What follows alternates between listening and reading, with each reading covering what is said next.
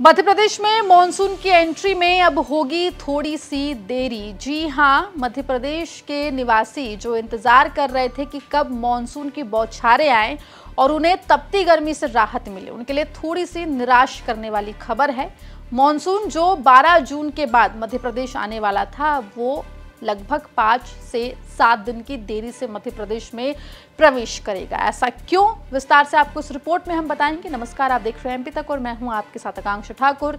देखिए, उम्मीद की जा रही थी कि मध्य प्रदेश में 12 जून के बाद कभी भी मानसून की एंट्री हो सकती है। इस बार मानसून समय से पहले चल रहा है, तेज रफ्तार में चल रहा है, लेकिन अब जो खबर आ रही है, उसके मुताबिक मध्य प्रदेश में मानसून की एंट्री में अब डिले हो गया है। जी हाँ 12 जून के बाद मध्य प्रदेश में मानसून की एंट्री मध्य प्रदेश में होनी थी, लेकिन अब आपको बता दें कि पाँच से सात दिन की देरी से मानसून जो है, वो मध्य प्रदेश में एंटर करेगा।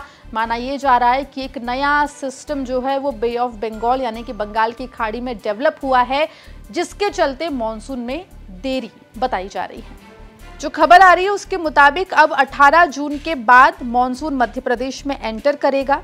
दर्शकों को बता दें कि महाराष्ट्र के कई हिस्सों को कवर कर चुका मानसून मध्य प्रदेश की सीमा के करीब है, लेकिन बंगाल की खाड़ी और अरब सागर की ब्रांच के कमज़ोर होने की वजह से अब इसकी एंट्री में पाँच से सात दिन और लगेंगे। वहीं दर्शकों को बता दें कि माना जा रहा है कि 18 जून के बाद मध्य प्रदेश में मानसून की एंट्री होगी, जिसके बाद पूरे मध्य प्रदेश में जोरदार बारिश देखने को मिलेगी।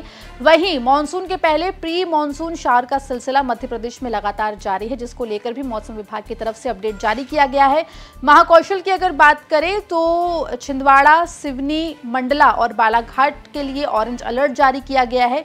वहीं निमाड़ में आपको बता दें कि उज्जैन, इंदौर और खरगोन रतलाम के लिए भी ऑरेंज अलर्ट मौसम विभाग की तरफ़ से जारी किया गया है। वहीं दर्शकों को बता दें कि चंबल और मध्य क्षेत्र जो है भोपाल का उसके लिए मौसम विभाग की तरफ़ से येलो अलर्ट जारी किया गया है, लेकिन फ़िलहाल ये भी आपको बताते चले कि मध्य प्रदेश में 18 जून के बाद मानसून की एंट्री होगी। हालाँकि एंट्री भले ही डिले हो गई हो, लेकिन इस बार मानसून सौ फ़ीसदी से ज़्यादा जो है मध्य प्रदेश में रहने वाला है। मामले में जो भी अपडेट होगा वो एमपी तक आप तक लेकर आएगा। मध्य प्रदेश से जुड़ी तमाम खबरों के लिए बने रही है तक के साथ।